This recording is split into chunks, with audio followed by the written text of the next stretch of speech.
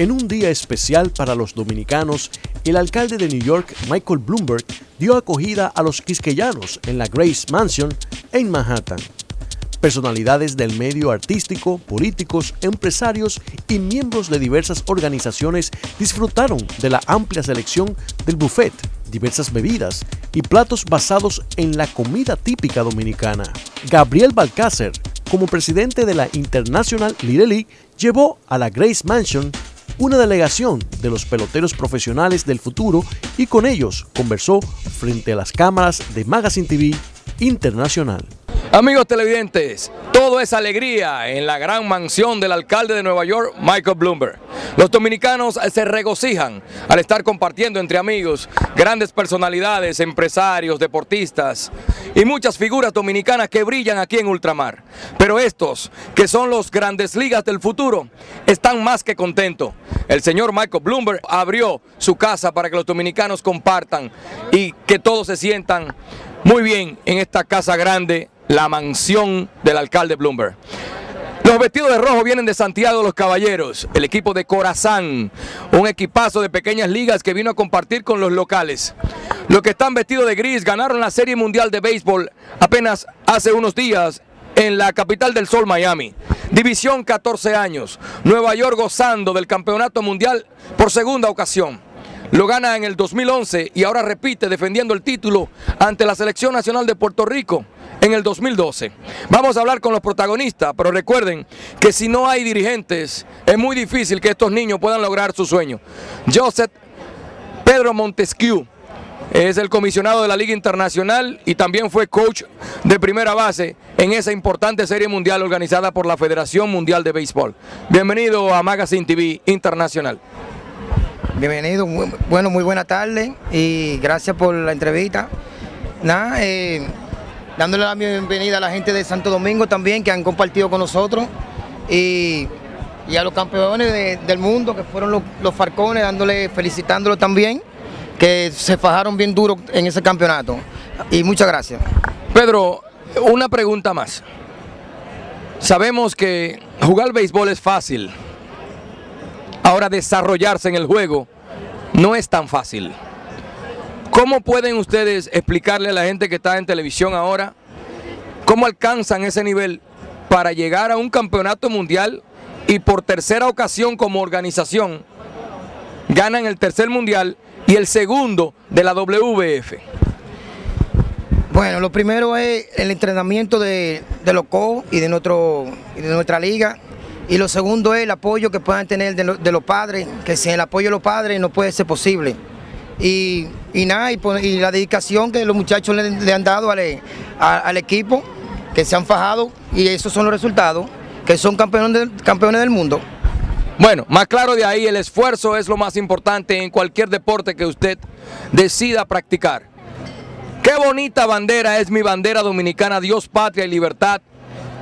La restauración dominicana siempre será un motivo de regocijarnos entre hermanos. Corazán llega a Nueva York, se enfrenta a la Liga Internacional, divide, gana uno y pierde uno. Eso quiere decir que Corazán también tiene un alto nivel. Bienvenido, caballero. Un placer, de verdad. Quiero dar la vida tuya, primeramente las gracias por la bienvenida aquí, a mi empresa y a los padres por la oportunidad que le brindan a los niños de participar en estos torneos, los organizadores de estos eventos. A ti principalmente por la oportunidad que nos brinda de compartir y intercambiar con tu liga. Ambos salimos empatados, lo que agradecemos, de ganarle a los campeones. Salir empatado nos, lleva al nivel de, ser un buen equipo también. Te lo agradezco por la oportunidad. Y nada, feliz de estar aquí en la mansión de la calle de nueva vez, un orgullo para los niños, tanto como para mí, estar participando en esto aquí. Muchísimas gracias, de verdad, agradecido. Bueno, el agradecimiento es nosotros hacia ustedes. A través de varios canales allá en República Dominicana, esta entrevista se está viendo en este momento los interesados en pertenecer a Corazán Little League Baseball de Santiago. El número de contacto y cualquier mensaje que quiera darle a todos ellos que están ahora mirando la televisión. Sí, bueno, nuestra liga se desarrolla especialmente para hijos de empleados en nuestra empresa. Habemos mucho que le damos la oportunidad de participar en nuestros torneos. Organizamos torneos tanto externos como internos Pero siempre estamos en los mismos números de la empresa, el 809-582-4343, número que le sirve también para el servicio al cliente de nosotros, cualquier situación. Y nada, estamos siendo presentes para el desarrollo de los niños, tanto estudiantil, el desarrollo educativo, tanto en el hogar y como deportivamente, que es lo mejor que lo pueden ofrecer a un niño. Muchísimas gracias. Gracias a ustedes.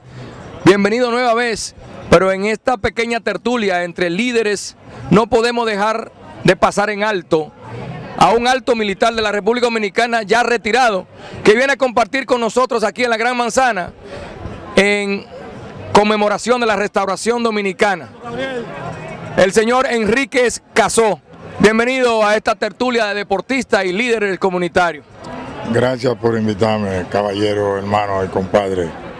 ¿Cómo se siente aquí en la gran mansión del gran y honorable Michael Bloomberg? Bueno, eh, me siento muy bien, eh, muy a plenitud por esta acogida que nos ha dado el señor Bloomer a nosotros dominicanos en festejo a nuestra eh, restauración de la República y me siento muy ameno. ¿Y usted, mi niño, cómo se siente junto a su abuelo y a su papá aquí con el micrófono en Nueva York? Muy bien. ¿Y que tú eres pelotero también? Sí. ¿Y tú bateas? Sí. ¿Tu equipo favorito allá en República Dominicana? El, el Licey. ¿Licey? Sí. ¿Tú eres liceísta? Sí.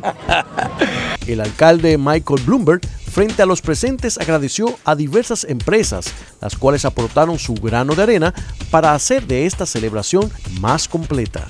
El alcalde dio paso a la embajadora en Uruguay de los Estados Unidos de América, la cual es una dominicana que no solo es la embajadora más joven actualmente, sino que además es la primera mujer de ascendencia dominicana en escalar a tan importante puesto en los Estados Unidos de América. I, I learned how to be a diplomat growing up in the Bronx and in Upper Manhattan and Washington Heights, primarily because it takes a lot of diplomatic skills to resolve complex problems in this city. Uh, and I am happy that I was able to learn from you all, from my community, from my fellow New Yorkers, how to be a good American and a good New Yorker. And now I can take those skills and those values and those ideas with me as representative of the United States in Uruguay. I know some of you know don't know where Uruguay really is. It's quite far. It's all the way in South America, at the end of the Americas, in the other corner of this continent. Um, I got to tell you, there are about 40 Dominicans in Uruguay. I have met all of them. Bloomberg, además, contó una interesante anécdota sobre su niñez que lo enlaza más de cerca con la comunidad dominicana. Tell you one quick story. The first time I ever came to New York City, I went to Washington Heights. I grew up in Boston. I was three months old, and my parents took me to Washington Heights. I had a cousin who lived at 181st and Cabrini Boulevard, and I don't know how to break this to you, but there were no Dominicans in Washington Heights back then in 1942. There are a lot now. Claro, estar en la Grace Mansion y no tomarse unas fotos allí sería, digamos, igual a comerse unas habichuelas con dulce pero sin las galletitas, que le dan ese distintivo sabor.